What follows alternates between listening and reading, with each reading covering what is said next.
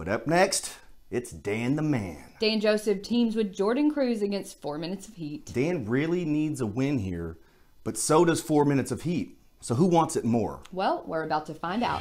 Dan Joseph, all kinds of fired up, as per usual.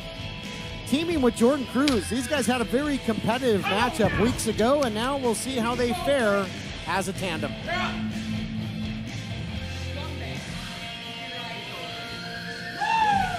And introducing their opponents at a combined weight of 400 pounds, Rock God Ricky Gibson and Freak Nasty Eddie Pearl, four minutes of heat. Four minutes of heat, gentlemen, an incredible tag team. Really gave the Bodega a run for their money for the tag team titles, including hitting Esco with that back stab. What a highlight reel maneuver that was. I, I think, the, again, the most brutal shot that Esco has maybe sustained in his entire career. But yeah, these two are tag team specialists, no doubt. As they say, though, Blake, in the world of professional wrestling, close only counts in horseshoes and hand grenades. Four minutes of heat didn't get it done. Right back into competition, trying to move back up that ladder towards a shot. And what a matchup, a unique matchup we have here. Ricky Gibson in there with the former United Television champion, Dan Joseph. Yeah, so an interesting thing, we've seen four minutes of heat together multiple times on the United Wrestling Network, on Primetime Live and Championship Wrestling Hollywood, but we've never seen Dan Joseph and Jordan Cruz tag team together. I'm wondering how well they're going to be able to work as a team certainly the advantage has to favor four minutes heat, who is as tight as they come. You know, when four minutes heat were coming out, you heard Dan Joseph saying these guys are scumbags. So no love lost for uh, Dan Joseph in four minutes of heat. It's been kind of a roller coaster ride for Dan Joseph lately as well. You know, ever since losing that television title to Levi Shapiro, had a victory over Jordan Cruz, competitive matchup. But then Dan Joseph coming off of a loss against Jesse James. Nice takedown into the cover with the bridge. And and Dan Joseph seems very dis, uh, disturbed, distracted, frustrated after that physical encounter with James where he came up short. Yeah, a lot of frustration boiling over, but you know, maybe after that match with Jordan Cruz, maybe the veteran sees something in this guy, taking him under his wing. Maybe could be a difference maker here in championship wrestling. Cruz a, a, just a phenomenal athlete. Wow, what an Irish whip. Tons of momentum and velocity on that. And they've got Ricky Gibson in control and in their corner, Blake. Yeah, so Cruz has fantastic wrestling. We see him right now in a front face lock on Rock Gibson. Usually get to hold him and get the tag.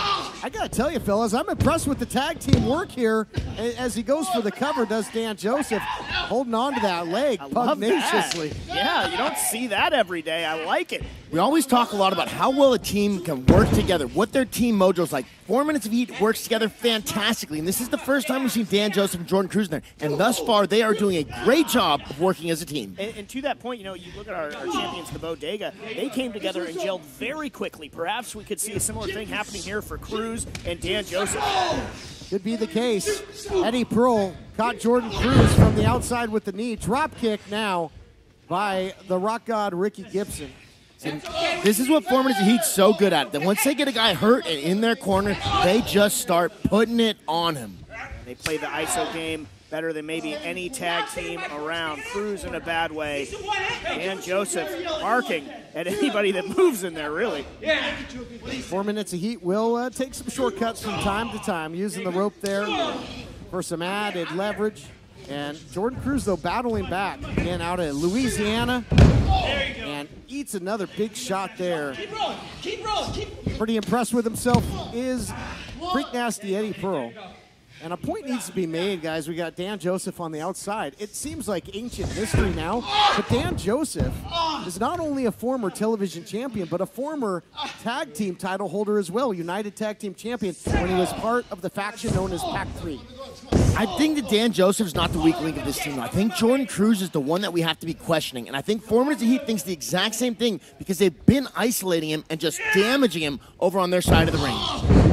They're isolating right now. Cover by Freak Nasty almost had Jordan Cruz there, but you can't really overlook a guy like him. He really did push Dan Joseph in their matchup. He's an incredible athlete, as we have said. So if four minutes of heat think they're going to have an easy time of granted, it is two on one right now. They need to put a stop to that. Does Jordan double hip toss? Jordan Cruz up and over. Wow, what elevation on that double team. Oh, it was calling for the moonsault. Not so much. Into the recliner, into the cover. And uh, they will throw the changeup pitch. Will four minutes of heat.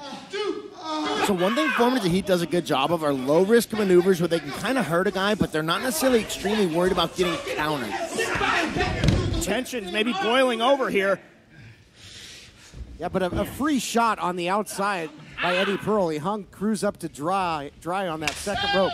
Tag is made, more double teaming. Uh, they love that one. The drop down into the flying knee, caught him right on the button.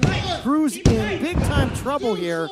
And although they had great teamwork going in the early going, guys, time of possession offensively has swung well to the side of four minutes of heat. That drop down flying knee is a beautiful misdirection attack by four minutes of heat. And you just see really the tag team experience coming into play right now as four minutes of heat have completely isolated Jordan Cruz. And now the Rock God once again taking a shot at Dan oh, Joseph. man. He's having none of it. Wow. Dan Joseph just flying into the ring. The referee taking control though, and that lets four minutes of heat take Guys, advantage. Guys, I've never seen. Look, he's a former broadcast colleague of mine. I've never seen Dan Joseph this hot under the collar. He lost it for a second in the ring. He's he's getting upset. He's seeing red. They had, to force him out of the ring. Did the official suplex now? Cruz in deep trouble, and if Gibson had hooked the leg, maybe this would have been over. Cruz has been the recipient of a lot of punishment. He's been stuck in there a long time, guys. He has. You got to figure if he is able to get that tag to Dan Joseph. Look at what a great maneuver, bulldog from Jordan Cruz. Now got to get to his corner. Got to tag in Dan Joseph, who wants to get in the worst kind of way. But Eddie Pearl with the axe handle to him. Uh-oh, look out here, not where you want to be. Power ballad into the cover, and they score another victory. Here are your winners. Four minutes of heat. Four minutes of heat, get the victory with the double team, and now he's yelling at the official that they cheated the whole time. Dan Wow, Joseph this is a new Dan Joseph. beside himself, Whoa. kicking the Oh no! I mean, you hate to see He is you, you hate to see him come unraveled. Now he's getting physical with ring announcer Adnan Qureshi. Oh, oh don't don't swinging say- the chair. Everything in sight. Dan Joseph has come completely He's- unhinged. He's completely bent that chair. He's he he is totally unraveled here. He, he's he's think he almost took a swing on that monitor. That'll cost you some money. Yeah, you can tell he's thinking he's deep in thought in his head. What what is He's- going on in between the ears of Dan Joseph? Unhinged and just completely out of control. Unhinged, unbridled. Whoa, Dan the man losing his cool at ringside. Talk about fired up. We've been seeing Dan Joseph get a little more frustrated each week, and really, who can blame him? But he may have gone a little too far this time. He sounds unhinged. Yeah.